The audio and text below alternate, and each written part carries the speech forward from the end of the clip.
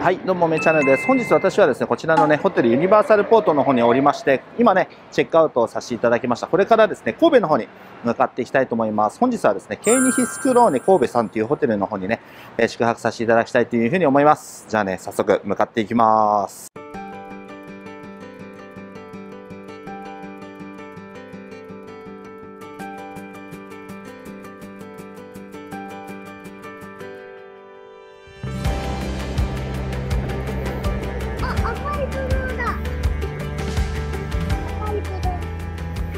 はい、本日はですね、こちらのね、えー、ホテル、ケイニヒスクローネ神戸さんの方にね、一泊させていただくということで移動してきましたので、これからね、チェックイン手続き向かっていきたいと思います。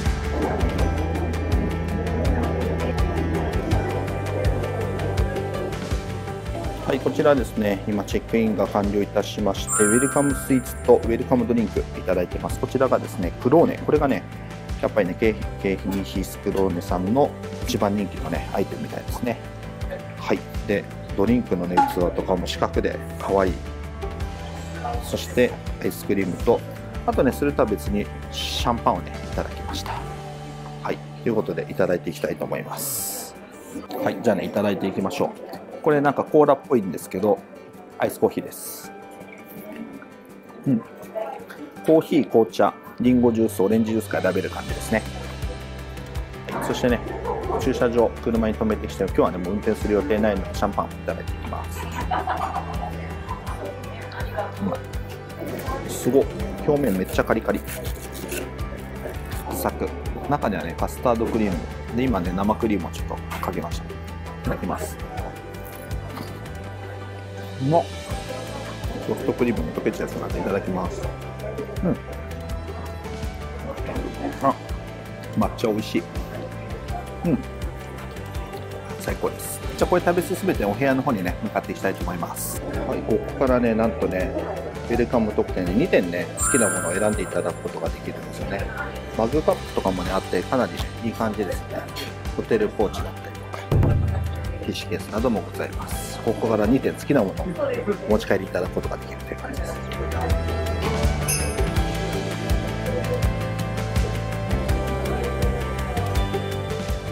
はい、じゃあね、チェックインが完了いたしました。これからお部屋の方に向かっていきたいと思います。すごい可愛い感じのエレベーターですね。鏡張りといった感じです。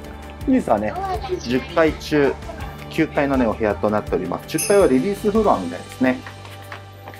おエレベーターホールもめちゃめちゃ可愛いです。そしてね、必要なアメニティについては、ここからね、好きなものを取ってきていただくという感じですね。いや、めちゃめちゃ可愛いです。そして電子レンジもね、ここにあるという感じですね。はい。では、905号室となりますので、はい。右側ですね。こっちはスイートとかですかね。廊下なんかもめちゃめちゃ可愛い。ね。すごい。レイ君好きそう。本日はこちらのね、905号室という感じですね。いや、はい。入っていきましょう。ティーチって書いてますね。はい。よ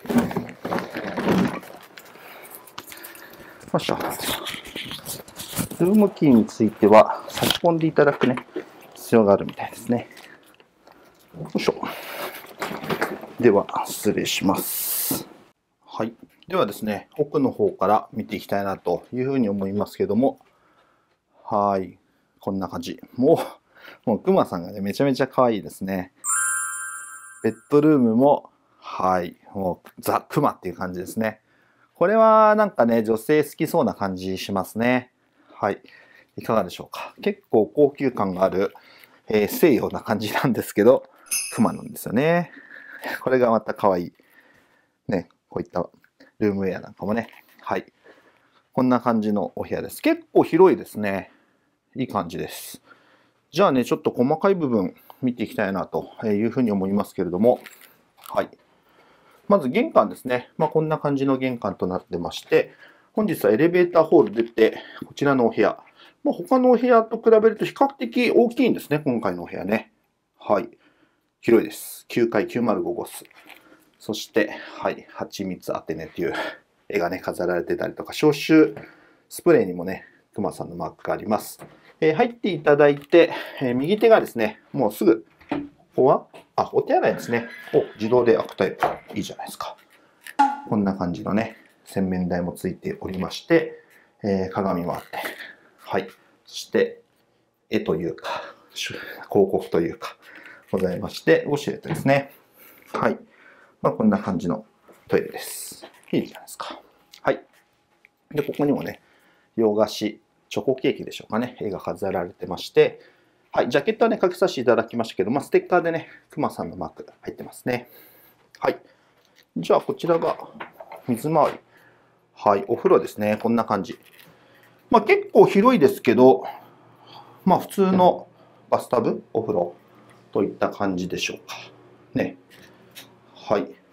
で、こういったティッシュケースがありまして、ここもね、クマさんなんですよね。タオルもね。かわいい。はい。で、なんだろう。こちらのポーラ製のですね、モイスチャーミルク。これがアメニティですね。はい。そして、はい。ドライヤーはナノ E ですね。十分じゃないでしょうか。ナノケア。はい。タオルも全部クマさん入ってますね。あ、ここにもね、ちゃんとポーラの、はい。アメニティがめちゃめちゃ大きいのがね、置いてございます。まあ、水圧はね、まあ問題ないんじゃないでしょうかね。こんな感じです。まあ十分じゃないでしょうか。はい。まあ、こんな感じのお風呂もね、入っていただくことができるし、シャワーで過ごしていただくこともできるといったバスタブになってます。はい。で、こちらね、はい、玄関と寝室をね、仕切っていただく扉があります。なんかね、ケーキとか、こういったものがね、飾られててお腹空きそうですね。で、こんな感じのテーブルがありまして、はい、マグカップもね、めちゃめちゃ可愛いライオンだったりとか、これレフにいいのかな？クマさんだったりとか。はい。で、お水とティッシュケースと、はい、こんな感じ。えー、コーヒーマシーンなんかもね、クマさんの、これシール貼ってあるだけなのかな？ございますね。電気ケトルとございます。引き出しとか特に入ってないですかね。で冷蔵庫に関しましては、はい。まあ、特にないですけど、まあ、スイッチをね、入れてくださいみたいな感じになってますね。冷やしたい場合は6とかにね、しとくのでしょうかね。はい。まあなんかね、非常に高級感あるデスクですね。あ、延長タップなんかも入ってる。これ嬉しいですね。私持ち歩いてますけどね。はい。モーニングコールだったりとかね。まあそんなご案内がございます。で、ゴミ箱と荷物ね、置いていただく台がございまして、で、こちらエアコンのね、コントローラーと照明のね、コントローラー。で、鏡と椅子がこのようにありまして、はい。こんな感じでね、ソファーもあって、いい感じじゃないでしょうか。で、中にもね、洋服かけていただくね、ハンガー等がございますという感じです。で、空気清浄機。はい、コンセントございますね。で、ここもね、絵が飾られておりますけど、はい、いい感じですね。ここは電気ね、多分つけていただくこと、こうやってできる感じですね。はい、いいじゃないですか。ここは引き出しはね、空ですね。はい。で、パジャマとクッション。そして、はい、ここにもね、クマさんがあるという感じですね。はい、ここもね、電気つけておきましょうかね。で、USB-A と、えー、2箇所とコンセントが2箇所ある感じですけどね。まあ、コンセントは使われているので USB-A が2箇所という感じですね。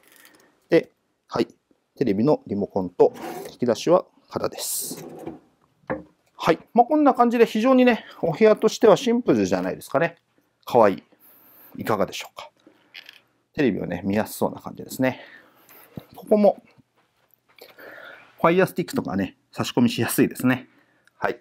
非常に使いやすいんじゃないでしょうか。本日はね、こんな感じのお部屋に一泊させていただこうかなと思います。いかがでしょうか？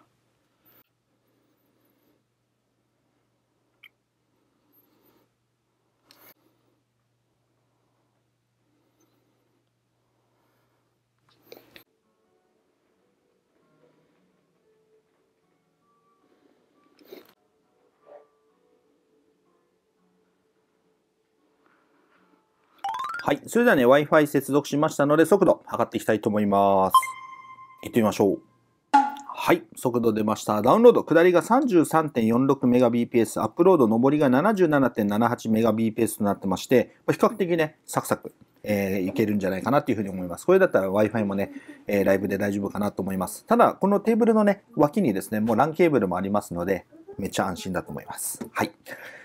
ということですね、こちらですね、初めてやってまいりました、ケーニヒスクローネ神戸さん。初めてね、お伺いさせていただきましたけど、めちゃめちゃ可愛いです。はい。もう熊さんのね、なんだろう、熊、キャラクター名がわかんないんですけど、熊ポチ亭っていうね、あのー、1階のスイーツ屋さんみたいな、ね、洋菓子屋さんがあるんですけど、ポチっていうのかな、これ。可愛いんですよね。で、こちらね、朝食券などもいただいてまして、こんな感じで、ね、全部ね、熊モチーフになってて、えー、めっちゃ可愛いです。なんかね、外観なんかも、やっぱりね、あの、ヨーロッパっていう感じですね。フォションホテル京都さんもね、こんな感じですけど、まあ当然こっちの方がね、古いんですけれどもね、えー、こちらのホテルにつきましては、このアンケートにね、置いてあるんですけど、2013年12月にオープンしたホテルでございますということでね、今後、えー、どういった点、あればいいですか？とか、もうアンケートもね、率先してやられてるホテルでございます。で、チェックアウトにつきましては11時半っていう感じになってまして、アメニティには関しましてはね、先ほどエレベーターホールに置いてあった通り、まあ、必要なものをご自身で取っていただくような形となってます。で、今ね、いただきましたけど、ウェルカムドリンク、スイーツに関しましては、えー、15時から19時の間にチケットをお持ちの上、フロントまでお越しくださいということなので、もう宿泊のチェックインのね、当日という感じです。で、朝食につきましては朝の7時からなんですけど、終了が早い。えー、9時。9時終了。まあ大体ね、9時15分ぐらいまで大丈夫ですよっておっしゃってましたけど、もう多分ね、10時ぐらいからね、一般のお客様が入り始めて、結構チェックインの時も見ましたけど、かなりね、混雑してるので、ホテル宿泊者様はちょっと肩身狭い感じで、えー、9時っていう感じですね。で、朝食バイキングだったり、パン食べ放題だったりとか、ケーキとかもね、なんか取れるみたいなので、結構ね、楽しみですけど、時間が結構限られてますので、ちょっとね、早めに、私でも朝食遅いんでね、早めに行かないといけないかなっていうところは、えー、気になるところですね。で、ホテル玄関に着きました23時から翌朝9時まではね、玄関閉まりますので、え、玄関横にあるキーボックスの方にね、え、ルームキーかざしていただいて、まあ、開けていただくことができるという感じになってますね。で、ホテル直営の、え、熊ポチ亭っていうね、あの、スイーツ屋さんにつきましては、あの、ルームキーをね、お見せていただければ、会計前にね、見せていただければ5%オフでお買い求めいただくことができるという感じです。で、今回ね、宿泊させていただいたプランがですね、こういったね、洋菓子いただけるセットになってまして、アソートのね、缶ギフトとか、えー、ケーニヒスクローネのフォンダンショコラとか、こんなのが2名分いただけてます。いや、めっちゃね、あのー、すごいです。これをね、2つ分いただいてます。で、先ほどね、チェックインの時にも、ちらっとお話しさせていただいたんだけど、下に置いてあるですね、あの、グッズの中から値段関係なく、もう好きなものを2点ね、お持ち帰りいただけますということで、まあ私どもはね、まあ妻にちょっと任せまして、まあマグカップとかね、これ、こういったね、こうお部屋に置いてあるものと同じようなね、マグカップがいただけるわけなんですけど、こういったものでも当然 OK ですし、えー、まあ私どもはですね、こちらのポーチ、はい、こういったね、ネイビーのポーチと、あとブランケット、はい、こんなのをいただいて帰るという感じでございます。で、今回はですね、まあ兵庫、兵庫のね、旅行支援を利用させていただいて、なんとね、えー、子供料金も設定があって、割引がね、結構大きかったんですよ。1万5千引き。なんで1万5千円だったのかな。ちょっとね、わかんないですけど、40%だったらレイ君の分は1万5千円。まあでもあれか、料金については、まあ3名で割ったらですね、1万2500円を優に超えるので、あの、もともとはね、5万いくらっていう感じだったのかな。で、まあ、レイ君の分も多分、その人数割りにすると1万2500円を超えるので、まあ、5000割引が適用になって3人分で1万5000円引きとなって、まあ、今日ね、土曜日っていうこともあるので、クーポンがね、えー、1000円分ずつということで3000円分、えー、いただいているということで、実質ですね、支払い、税金サービス料込みでですね、まあ、3万3000という感じなので、まあ決してね、安いホテルではないですけど、決して安くないホテルの中では、こういったクーポンを利用して1万5000引きになって、かつ、こういったね、お菓子のアソートの缶を人数分、人数分っていうのは大人2名分の2缶、え2セットいただいて、好きなものをね、あの2点お持ち帰りいただいて、ウェルカムスイーツで先ほどのデザート、スイーツとあの飲み物、シャンパンとかをいただけるってことになると、なんかね、お得感はあってね、なんか納得できる料金かなというふうに思いました。はい。今のところなんかめちゃめちゃあの、自分ではなかなかね、あの、チョイスしないホテルですけど、来てみるとやっぱりいいなっていう感じはしますね。はい。妻様様っていう感じではありますけどね。はい。ということで、まあ今日はね、ちょっとゆっくりさせていただいて、まあ視聴者様からですね、おすすめいただいたレストランでこちらのね、クーポンを利用しようかなっていうふうに考えておりまして、え夕食はね、そちらの方でいただこうかなというふうに思っておりますので、それまでね、ちょっとゆっくりさせていただいて、もうもうちょっとね、日が暮れた頃に、え夕飯をね、食べに行こうかなというふうに思います。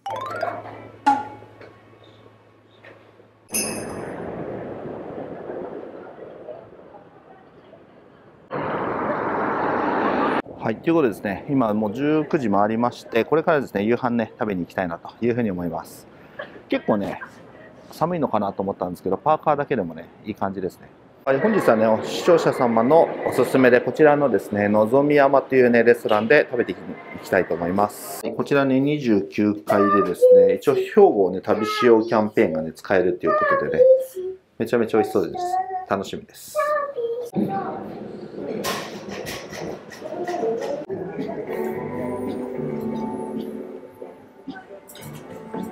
はい、こちらのね、白州のハイボールをお願いさせていただいて、サラダにお願いしたんですけど、めっちゃでかくないですか？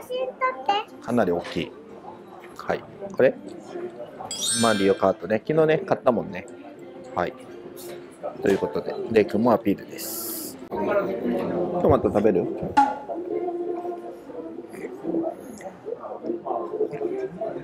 いらないの？じゃあ、いただいていきます。うん、あうま。ドレッシングとかもうま。うん。うまいです。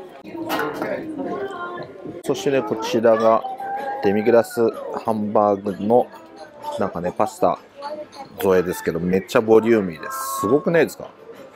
すご。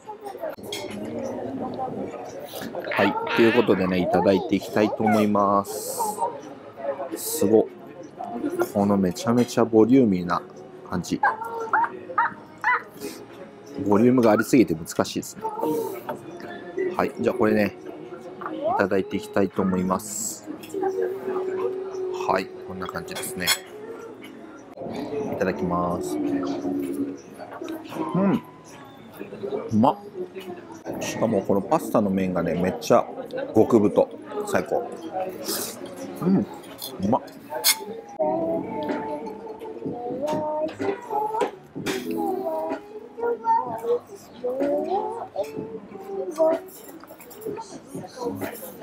はい、そしてね、こちらのフィレサンドですね。めちゃめちゃ美味しそうじゃないですか。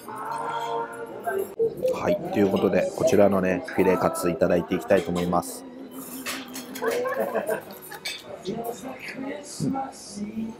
はい、ということでね、ごちそうさまでした。めちゃめちゃね、えー、美味しかったです。夜景もね、非常にいい感じでしたし、このね、レストランの雰囲気もね、かなりいい感じでしたので、大満足。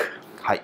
ということで、ね、これからね、ホテルの方に戻って、今日はね、また夜ライブを行っていきます。そちらのね、様子につきましては、上の方にね、リンク出しておきますので、よかったらそちらご覧になっていただければと思います。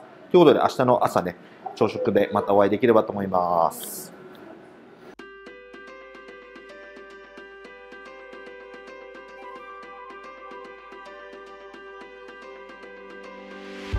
はい、おはようございます。もうね、8時回りましたので、これからね、朝食食べに行きたいと思います。めっちゃね、楽しみです。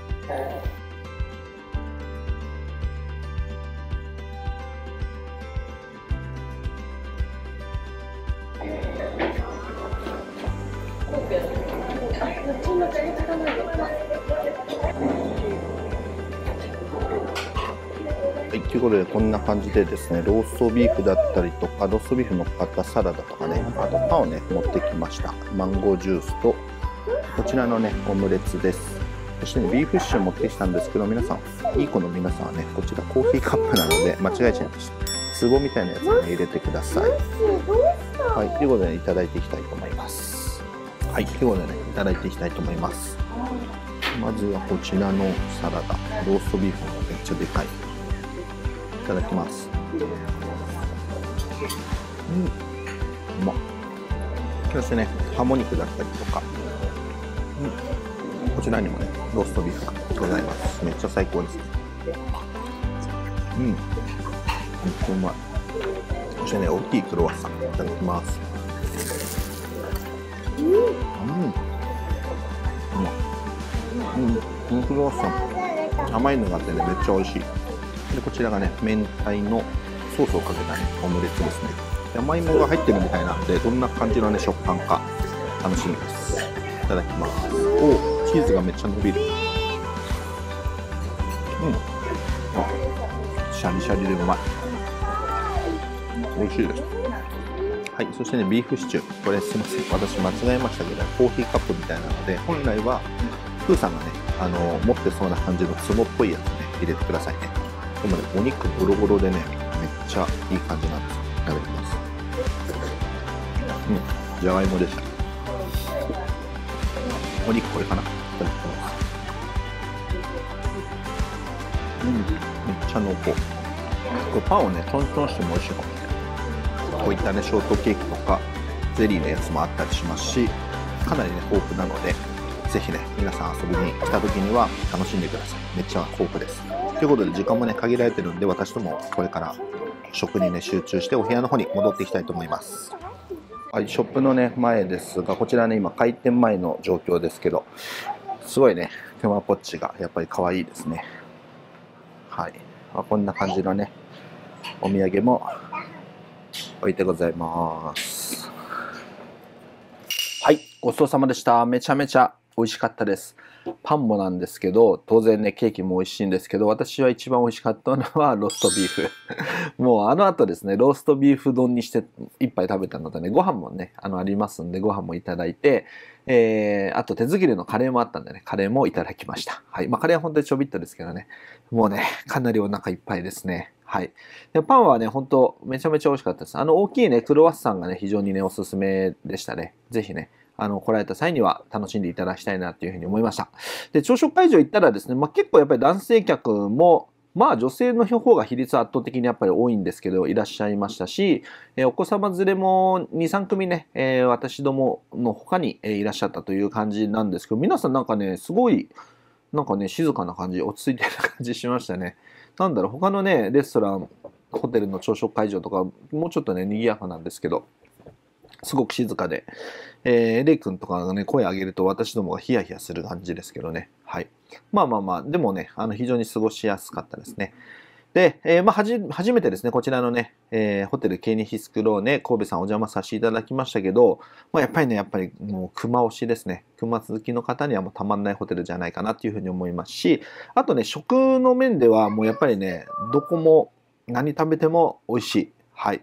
非常になんか落ち着きのあるね、快適な感じですし、Wi-Fi もね、早いですし、うん、いいホテルだなというふうに思いましたね。まあ、ただね、あの、昨日ライブでもね、お伝えさせていただいたんですけど、まあ、価格帯的なところ、えーやっぱりね、4万円、5万円、もうちょっとピーク時だともうちょっとするのかな、6万円とかするかもしれないんで、そのぐらいの価格帯だと他にね、競合するホテルさんだったりとか、まあ当然その料金を出さないとこのホテルも泊まらな泊まれないわけなんですけど、えーその料金でこちらに泊まるのか、えその料金出すんだったら、えーどこどこに泊まるとかね、まあ皆さんのやっぱり好みによってね、結構変わってくるのかなっていう感じはしますね。まあそんな簡単にお試しでね、行ってみようかなっていう価格ではないかなっていうふうに思いますので、まあご興味ある方はぜひね、あの、体験してみていただければいいんじゃないかなというふうに思います。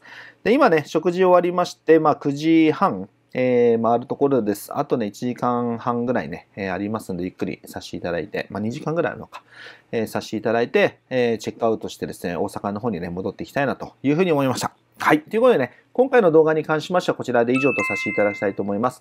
この動画がためになった、参考になった、面白かったという方はぜひね、高評価ボタンとコメント気軽に残しておいていただければ幸いです。概要欄下の方に私、Twitter、LINE、Instagram やってまして URL 貼ってありますので、ぜひ合わせてフォローチェックよろしくお願いいたします。私の動画の方ではこういったホテルの宿泊レビューであったりとか航空機の搭乗レビュー、旅に関する有益な情報等を発信させていただいております。情報のお見逃しがないようにですね、こちらのチャンネル登録とベルマークの通知ボタンを押していただいて、次回の動画もチェックしていただけると嬉しいです。ということで、また次回次の動画でお会いしましょう